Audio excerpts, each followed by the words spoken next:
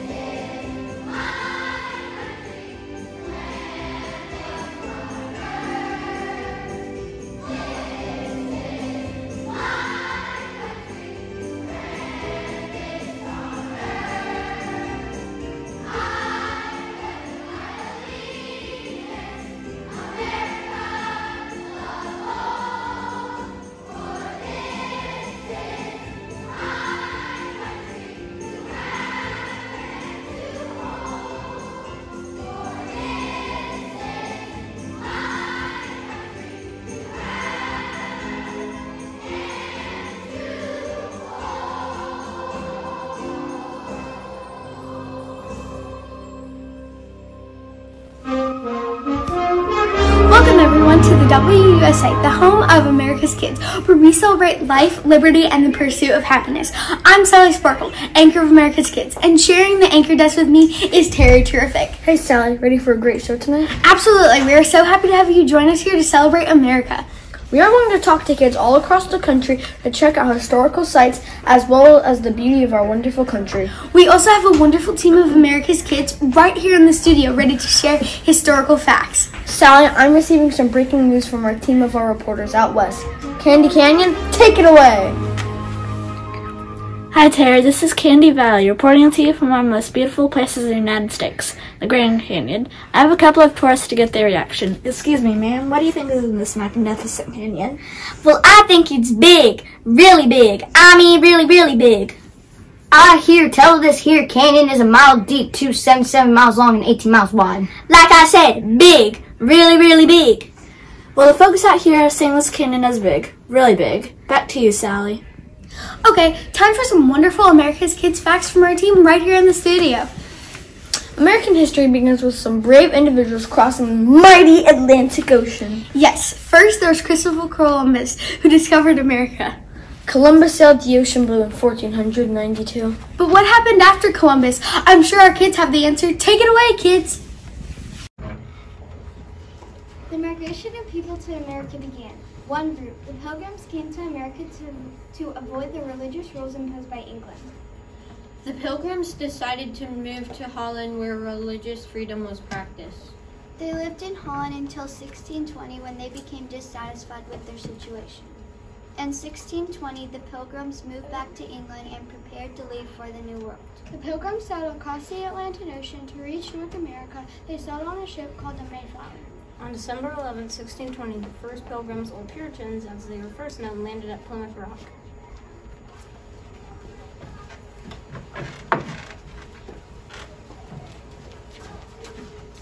Wampanoag Indians were the people who taught the Pilgrims how to get the land ready for planting. By the fall of 1621, only half the Pilgrims who had sailed the Mayflower survived.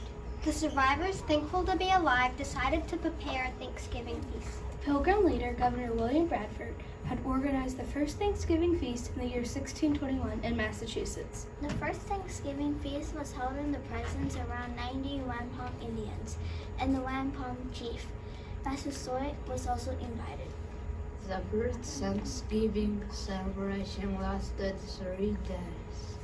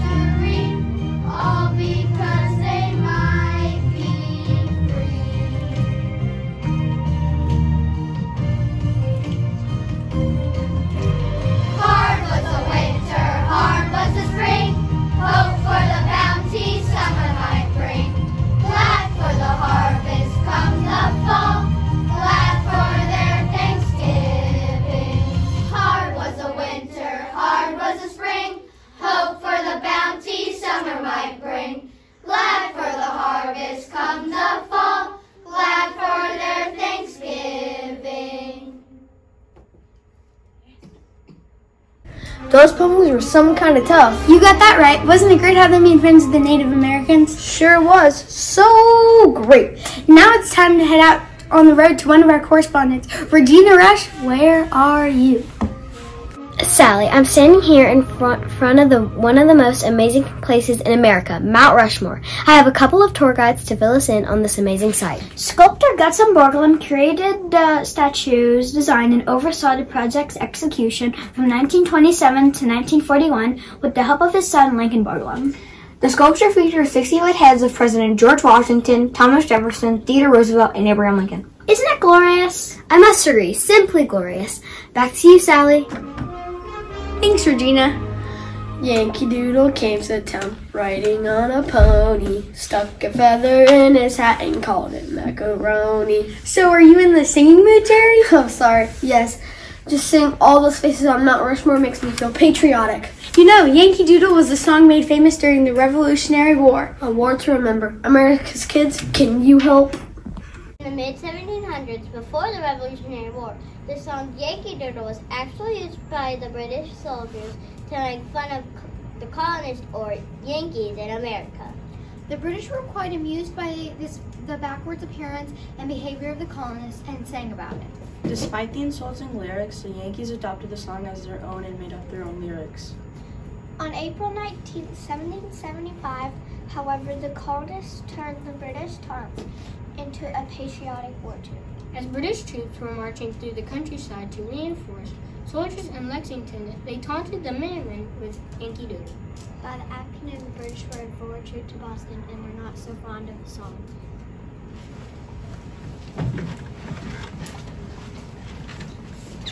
The American soldiers sang Yankee Doodle with pride, and by 1777, it had become an unofficial American anthem. It was even said that it was played during New Yorktown when Lord Cornwallis surrendered to George Washington ending the Revolutionary War.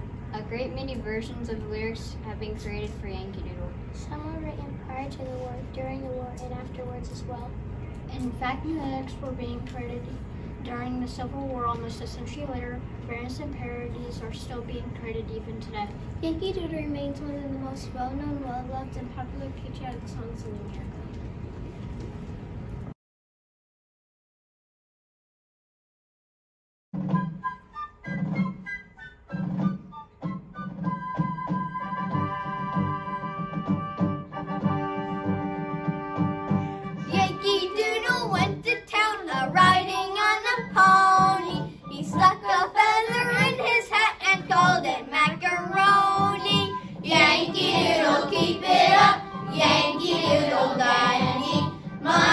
Music and the step, and with the girls be handy.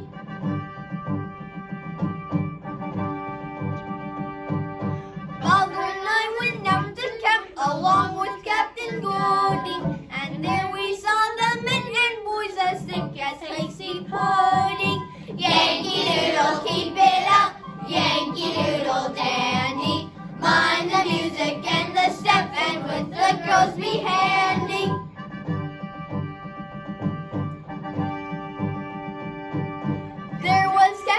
Washington upon a slapping stallion, a giving orders to his men. I guess there was a million. Yankee Doodle, keep it up, Yankee Doodle dandy.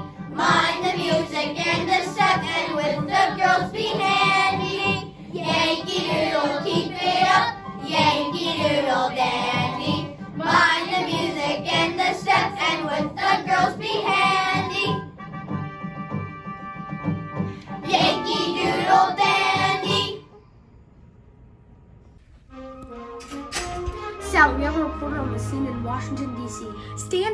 at one of the most famous museums in the United States. Stan, are you there? Yes, Terry, this is Stan Smith coming to you from the Smithsonian Museum of History. We are here to see a fabulous flag, the Star Spangled Banner. Isn't it amazing? Do you know the history of the Star Spangled Banner? You do know we're fourth graders. Super smart. Well, maybe you can tell the folks at home the story. Okay, it was the flag that flew above Fort McHenry during the Revolutionary War. Francis Scott Key watched all night to make sure the U.S. flag was still flying over the fort. Amazing! I would love to meet Francis Scott Key. That might be kind of hard. He lived 178 years ago. The Star Spangled Banner is key to American history. Back to you, Sally. America's Kids, can you tell us more about the Star Spangled Banner? This is a great country and it has a great history. From America's beginning, people have given up a lot so we can be free today. It was 1814 and the British were at war with the Americans. The British were attacking Fort McHenry in Baltimore, Maryland. Francis Scott Key watched all night to make sure the U.S. flag was still flying over the fort. Seeing the flag still there helped the Americans not give up and they finally won that battle. I can see it now. Francis Scott Key was on one of those ships in the harbor that night. He was on board a British ship to negotiate the freedom for American prisoners. He could not take his eyes off the flag flying over Fort McHenry. Would the flag be there in the morning or would the British take the fort in battle? Key Watch could only see the rockets when the bombs burst in the night sky. The rocket's red glare, bombs bursting in air, gave proof through the night that our flag was still there. Thankfully, the Americans won the battle. The flag was saved. He was so inspired that he wrote the Star Spangled Banner.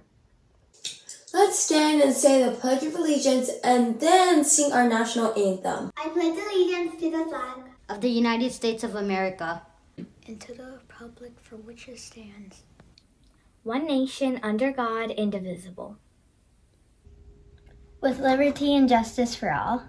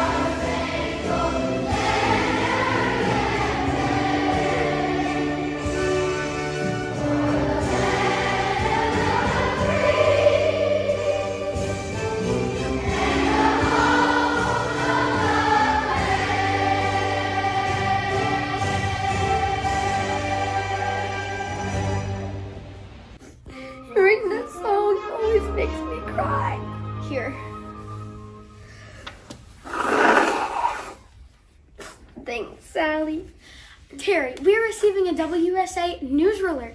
On the spot, Fred Stone is about to meet someone called Old Faithful. Fred, tell us the rest of the story. I'm here at Yellowstone National Park, which covers 3,472 square miles. Old Faithful is located in its upper geyser basin. These two park rangers are here to fill us in. Old Faithful is an interesting old guy. He erupts around 20 times a day. And the steam shoots up to 100 to 180 feet in the air and lasts about one to five minutes. Before an earthquake in 1959, Old Faithful erupted 21 times a day, but that one natural event changed the geyser forever. The geyser is truly amazing. Old Faithful is a great American story. Back to you, Terry.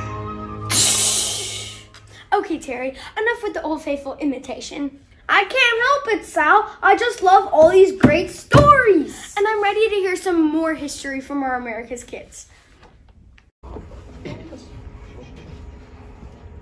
The world on the east coast of America was getting crowded, so people began looking west.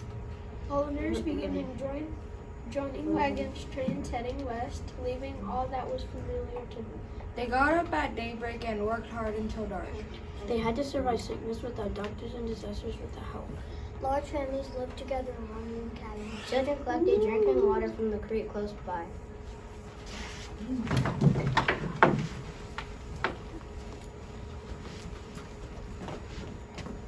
And the whole family shared the same bathroom behind the cabin. But these settlers believed that their conditions were only temporary. They looked to the day when they would be settled in the place of their dreams. More and more people began looking to the west for their home. They mm. traveled Oregon Trail looking for their promised land. In 1862, pioneers Betsy and Ike took everything that they owned and the animals they would need to start a new life in California.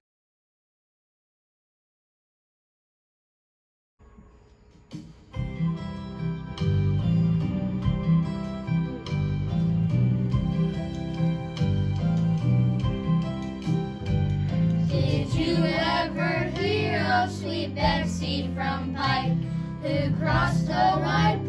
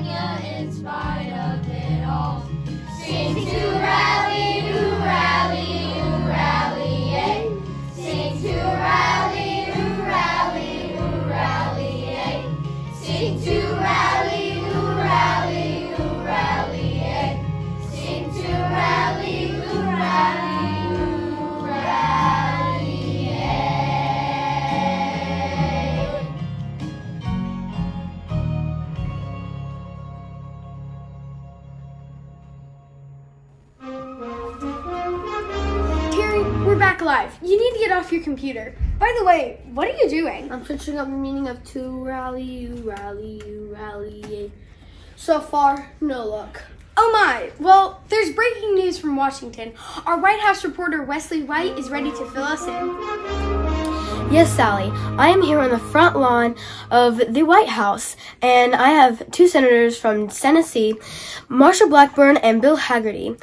Have y'all been visiting the White House on any urgent matters? No, actually, we just took a great group of Tennesseans on a tour of America's first house, and what a beautiful house it is. Wesley, did you know after eight years of did you know Wesley? Did you know that George Washington selected the site of the White House in in 1791? An Irish-born ar- architect, James Hoban, designed it. After eight years of construction, President Pres- President John Adams and Abigail moved, and his wife Abigail moved into the White House. There have been many renovations to the White House over the years. Currently, there are 132 rooms. It is a truly magnificent, magnificent place filled with American history, and has been, and of course, and, and, and of course, has been the home of 45 of our presidents. And what a beautiful house it is. Thank you, Senators, for sharing, Marsha Blackburn and Bill Hagerty for sharing with us. Back to you, Terry. Ah, the White House, America's home. Absolutely. The White House has seen lots of good times, but also lots of bad. I think you must be thinking what I'm thinking, Sally. No president has had a more difficult time than President Abraham Lincoln. America's kids, tell us more. Abraham Lincoln was born in Kentucky. He was a shopkeeper and a lawyer. He was elected President of the United States in 1860. President Lincoln was against slavery, so the 11 states seceded from the Union. On February, uh, February 9, 1861, Jefferson Davis was a former U.S. Senator and Secretary of the War, was elected President of Confederate States of America. Lincoln refused to recognize the 11 states as a separate country, causing the Civil War to begin in 1861. On January 1st, 1863, Lincoln issued the Emancipation Proclamation, which freed the slaves in their rebellious state. The proclamation was the beginning of the end of slavery across the United States.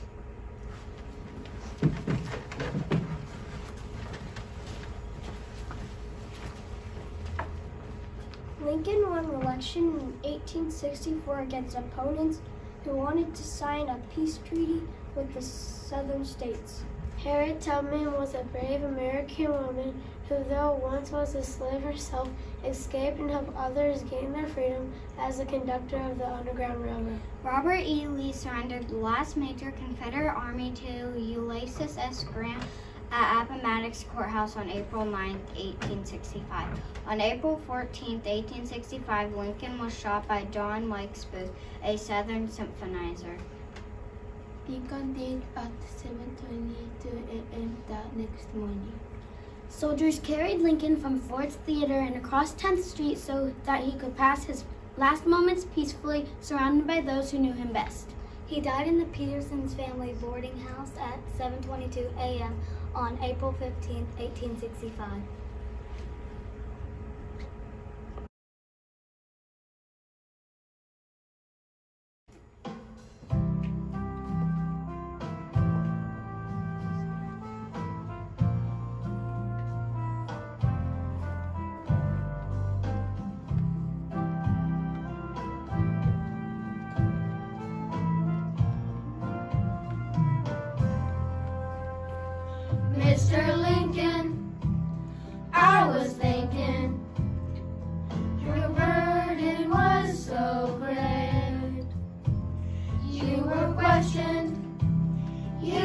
Tortured by thoughts of people's fate.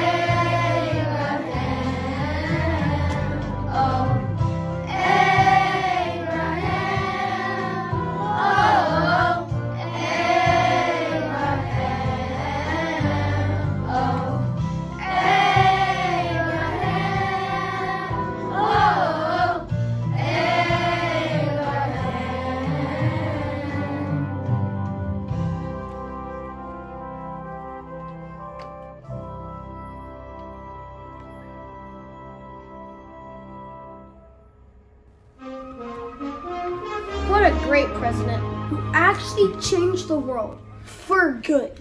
Terry, I think we have our reporter Channing Time in Philadelphia with a great human interest story. Channing, are you there? Yes, Sally, I am here on the scene in Philly ready to bring out a great story. And it's not Philly cheesesteak. In fact, I'm at Independence Hall, home of the beautiful Liberty Bell. Here are some tour guides to fill us in. Excuse me, could I ask you a few questions? Certainly. How can we help you? Our folks at home are anxious to learn about the Liberty Bell. Tradition tells of a chime that changed the world on July 8, 1776, when the glorious bell rang out, summoning people to hear the first reading of the Declaration of Independence. Crack, they say, is from overuse, but gives the old bell lots of character. A bell with a crack that rang out the message of independence. Wow, this story really cracks me up. Back to you, Terry. Grit work, Channing. That was a Ringingly great report. I think our America's kids have another awesome story about a great American construction inventor, the Erie Canal.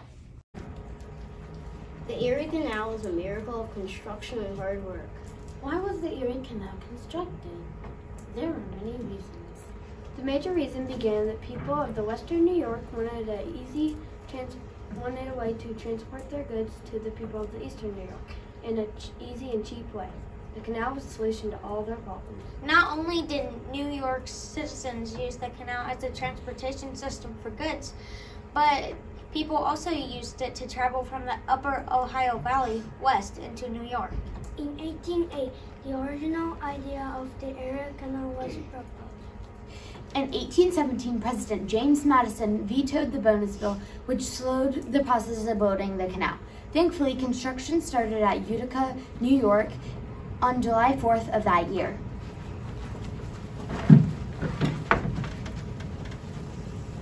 In October 1825, the Erie Canal was officially opened. In 1835, the network of canals doubled its size to lessen traffic, and in 1903, the Erie Canal was enlarged again. The canal is 363 miles long, 40 feet deep, and 4 feet wide, and contains 18 aqueducts and 72 locks. The men who constructed the canal used their bare hands, picks, and shovels. They were only paid 50 cents each day. Even before the canal was finished, there was already a million dollars worth of tolls paid. After only nine years, the cost to build the canal was paid off by its tolls. The Erie Canal has changed trade in the northeastern region of the United States and is a valuable addition to America today.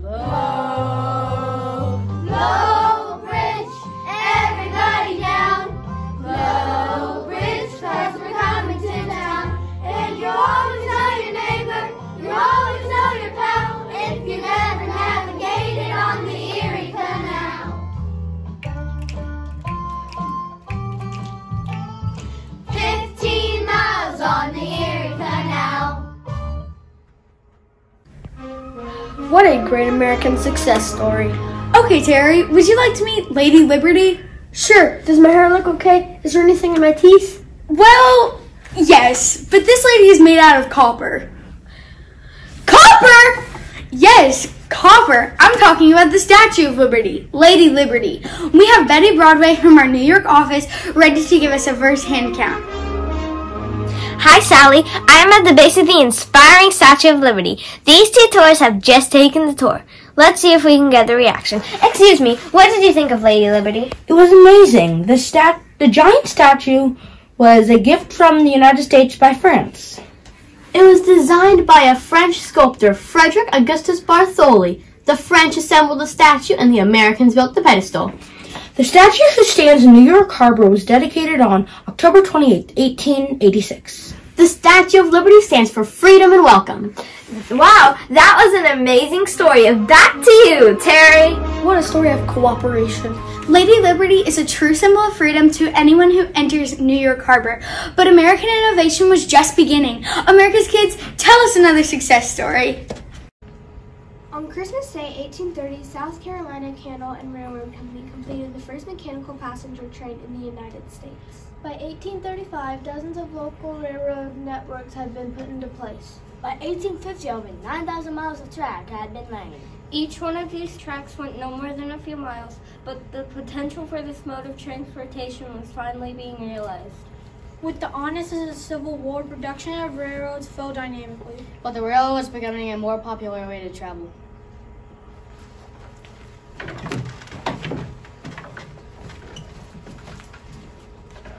Soon after the war, the first transcontinental railroad was constructed. The Union Pacific Railroad Company started building from the east, while the Central Pacific began from the west. The two companies met at Promontory Point, Utah on May 10, 1869. As they drove the Golden Spike, uniting the two tracks, a new age was born. Gradually, the smaller railroads were consumed by the larger railroad companies. Today, the railroad plays a huge role in the transporting of goods as well as people in America.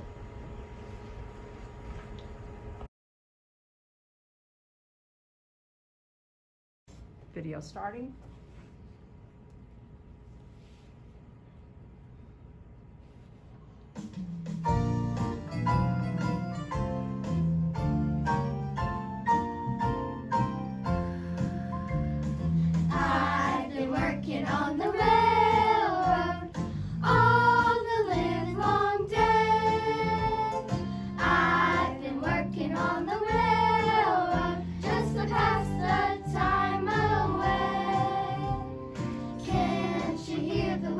Whistle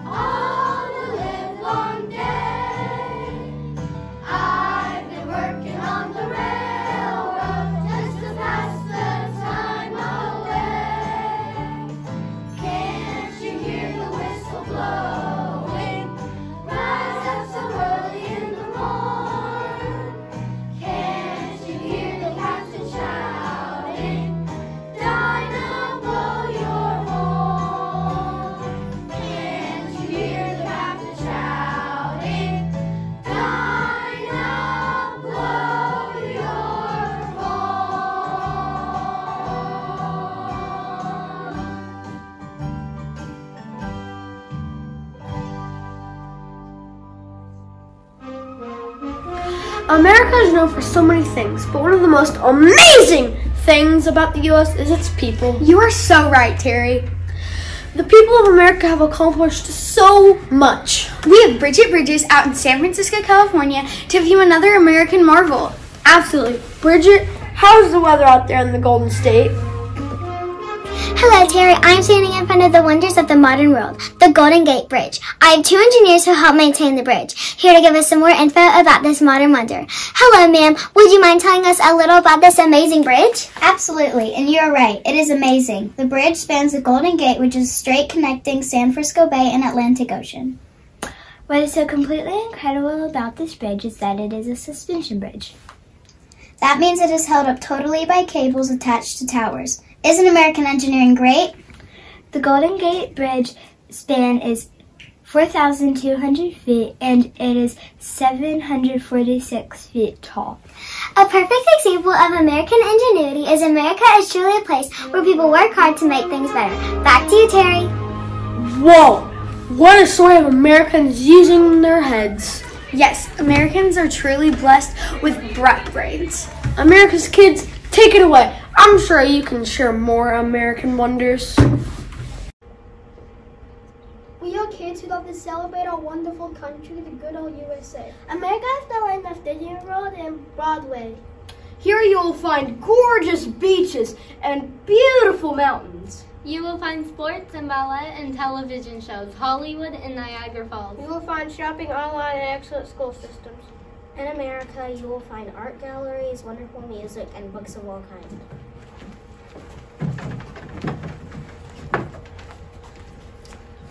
You will find gourmet food of every kind as well as McDonald's. You will also find brave men and women like Martin Luther King and Rosa Parks who fought for civil rights. The Wright brothers, who were all, for, who were the first to fly an airplane. David Crockett, a pioneer, pioneer and trailblazer who served in Congress. Susan B. Anthony, who fought for women's rights, and Jonas Edward Salk, who invented the cure to polio. In America, you will find men and women who are willing to die for this country, as well as protect its citizens in the military and as community service officers. America is a special place filled with good people who care about us. America is home to many people of all accessity, people of all walks of life. This land was made for you and me.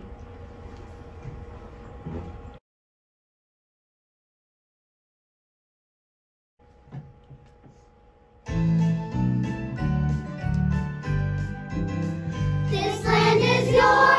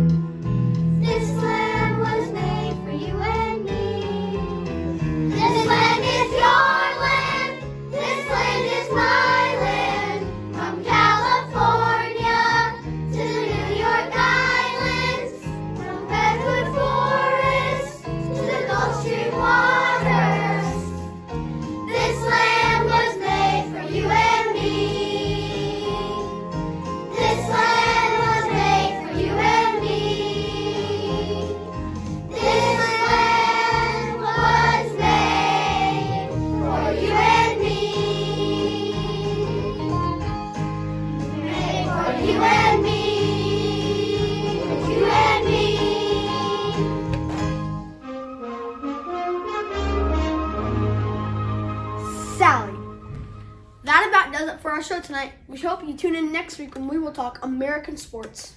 I hear that the University of Tennessee football is really great. Well, I like Vandy. Terry, we'll discuss this next week. Okay, bye. Terry, next week. But hasn't it been great to celebrate the history of our country? Yes, we are blessed to live in the United States, the home of life, liberty, and the pursuit of happiness. America, the beautiful, is our home, and we are truly thankful. Have a great rest of the week. Thanks for joining us on WUSA. Thank you.